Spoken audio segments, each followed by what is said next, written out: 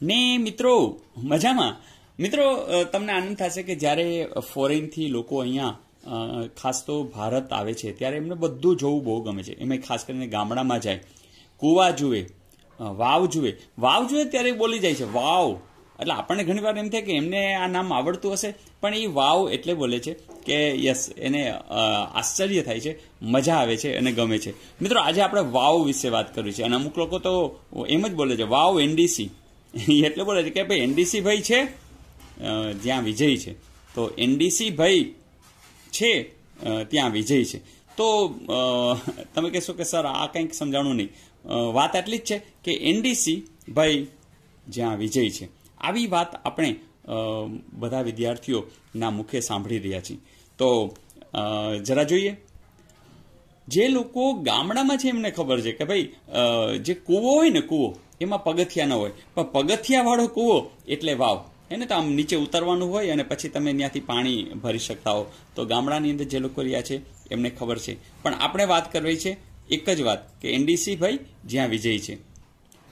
તમે કહેશો, સર, આ એનડીસી ભાઈ જ્યાં વિજય છે, એવી વાત કાં? પણ ભાઈ દરેકના મુખે એ વાત છે. શું કામ? કે પેલો, બીજો, ત્રીજો, ચોથો નંબર. બસ બધા આગળ વધી રહ્યા છે. તો વાત એટલી છે કે તમે કહેશો, સર, અમને સમજાઈ રહ્યું છે કે તમે આ એક બે ત્રણ ચાર બોલો છો ને, એક બે ત્રણ ચાર પ્રવેશ દ્વાર, અથવા તો મુખ છે અને એવા ચાર મુખ્ય પ્રકાર છે. એનડી એટલે મને નંદ નંદ, ન દ, એના ઉપરથી નંદા યાદ આવી જાય છે. ભયમાંથી ભદ્રા યાદ આવી જાય છે. અને જયા અને વિજયા. યસ, ફરીથી. તો ચાર પ્રકાર મુખ્ય ગણી શકાય. યસ, મુખને આધારે. બધા મુખ્યથી બોલે છે ને? યસ. તો મુખ એટલે પ્રવેશ દ્વાર. પ્રવેશ દ્વારના આધારે ચાર પ્રકાર વાવના પાડી શકાય. હે ને તો વાવના પ્રકાર શું? તો કે ભાઈ નંદા, ભદ્રા, જયા અને વિજયા.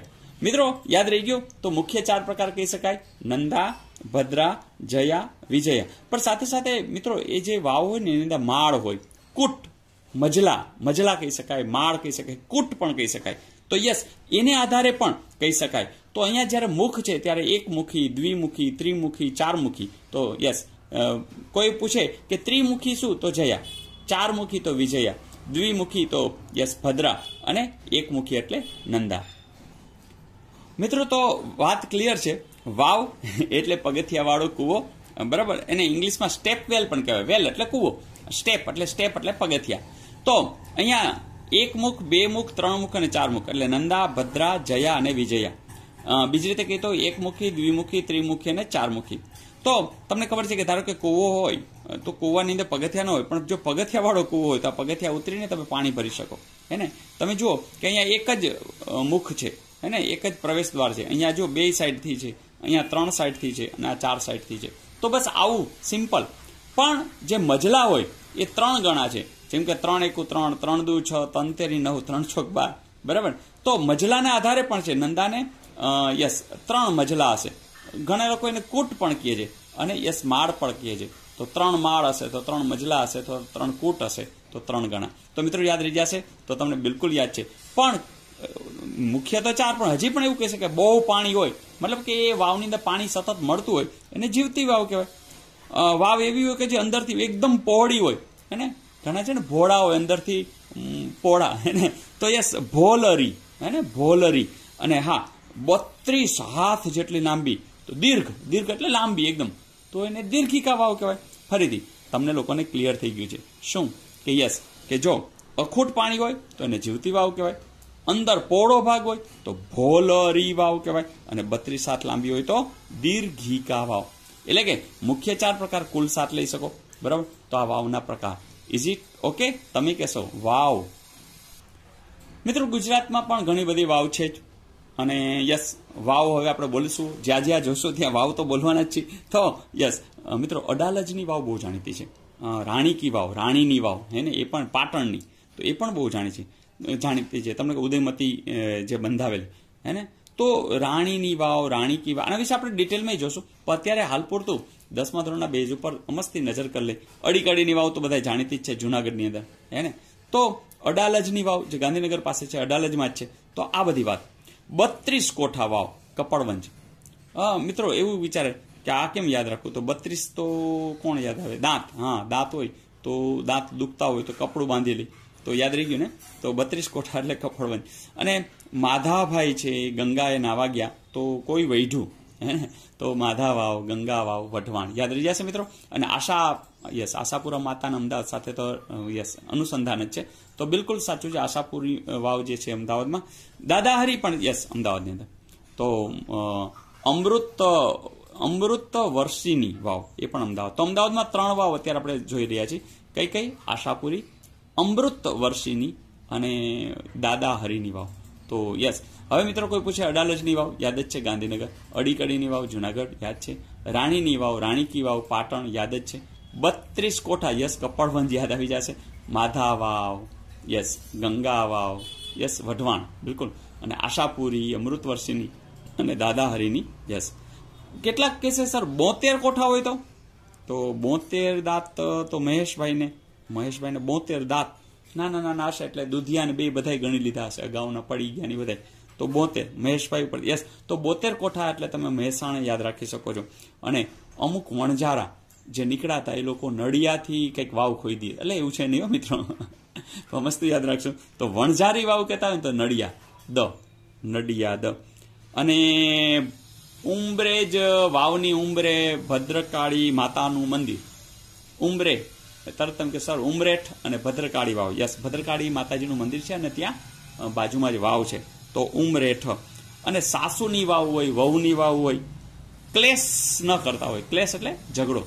ન કરતા હોય. તમે તરત સર, એમને યાદ રહી ગયું. સાસુની વાવ, વહુની વાવ એ કલેશ્વરીમાં હોય તો મિત્રો, આવા નામ તમને યાદ બરોબર રહી જશે. આપણે જોઈ લઈએ ફરીથી પૂછું, બોતેર કોઠાની વાવ. તમે તરત કહેશો મહેસાણા. બિલકુલ સાચું છે.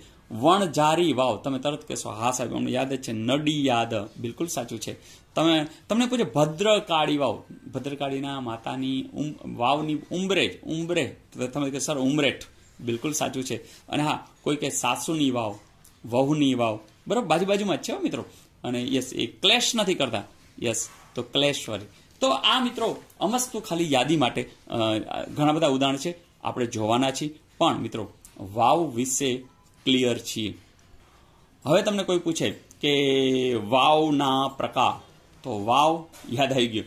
કયા પ્રકાર? ચાર પ્રકાર. મુખ્ય ચારો, નંદા, પછી ભદ્રા, યસ, જયા અને વિજયા. ચાલો હવે પૂછે ચાર મુખી તો એ ખબર જ છે, વિજયા. એમ પૂછે કે બાર મજલાવાળી.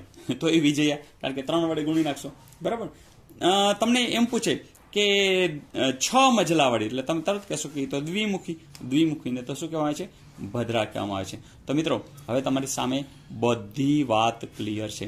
હા કે ના? અને આના આધારે કંઈ પણ પૂછે, તો હવે તમને આવડી જવાનું. પણ પણ પણ, એમ પૂછે તો કે ભોલરી વાવની વિશેષતા તો એમાં અંદરથી પહોળો ભાગ હોય છે. દીર્ઘિકા વાવની વિશેષતા, યસ, બત્રીસ હાથ લાંબી હોય છે. અને કોઈ પૂછે કે જીવતી વાવની વિશેષતા શું છે? તો યસ, એમાં પાણી સતત હોય સતત હોય. અખૂટ જેને કહેવાય ને, અખૂટ પાણી. તો આ બધી વાતો એક વખત તમે વીડિયો જોયો છે, યાદ રહી જવાનું છે. તમને એવું લાગે અને બીજી વાર જોવો હોય નો ટેન્શન. તો તમે જોઈ શકો છો. તો મિત્રો, વીડિયો જોઈ અને યાદ રાખવાના છે. અને હા, પ્રશ્નોત્તરી આપણે કરવાના છીએ આર યુ રેડી તમે કહેશો, સર, પ્રશ્નોત્તરી કરો ને. એ પહેલા યસ અમને જણાવી દો કે વલોણું તો હોવું જોઈએ. તો યસ તમારા માટે વલોણું રેડી છે. અને યસ વાવ સાથે જ ચાલુ થાય છે. કે વાવ, હવે કોઈના મુખે તો આવી જશે જ્યારે? વાવ, હવે કોઈના મુખે તો આવી જશે. જ્યારે? ક્યારે? તમને તમને વાવ એમ બોલવાના છે. વાવ હવે કોઈના મુખે તો આવી જશે જ્યારે પગથિયા ચડી રહ્યા છો સફળતાઓના ત્યારે. જ્યારે તમે પગથિયાઓ ચડી રહ્યા છો એ સફળતાઓના, તો કોઈના કોઈના મુખેથી વાવ આવી જ જવાનું છે. તો મિત્રો, આ વાવ એટલા માટે આવી જશે કે તમને બધું આવડે છે. અડાલજની વાવ ગાંધીનગર પાસે છે, અડીકડીની વાવ, જુનાગઢ, રાણકીની વાવ, પાટણ, બત્રીસ કોઠા કપડવંજ યાદ છે Madha Vav Ganga Vav? Yes, very good, Wadhwan. Ashapuri Vav, yes Ahmedabad. Amritvarshini દાદાહરીની વાવ ક્યાં? યસ અમદાવાદ. બોતેર કોઠાની વાવ. યાદ જ છે, મહેસાણા, વણઝારી વાવ, નડિયાદ, ભદ્રકાળી વાવ. ક્યાં આવશે? યસ એક્ઝેક્ટલી ઉમરેઠ અને હા, સાસુની વાવ, વહુની વાવ. એ ક્યાં આવશે મિત્રો? બિલકુલ બિલકુલ બિલકુલ સાચું છે અને એ છે કલેશ્વરી. મિત્રો, આવી કેટલી વાવ વિશે આપણે હજુ જોઈશું, પણ યાદ તો રહી જવું જોઈએ. કારણ કે એક વીડિયો જુઓ, બધું યાદ, અને પછી, યસ, પરીક્ષામાં જ્યારે પણ પૂછાશે, આપણે ક્લિયર કટ હશે. તો વાવ વિશે તમારે હવે નિબંધ લખવો હશે, તો પણ લખી શકશો. કારણ કે ગુજરાતની આ બધી વાવ પ્રખ્યાત છે. અને હવે, તમને પણ તમારા માર્ક્સ જોઈને કોઈ ને કોઈ તો બોલવાના છે. શું? યસ. વાવ. આવજો.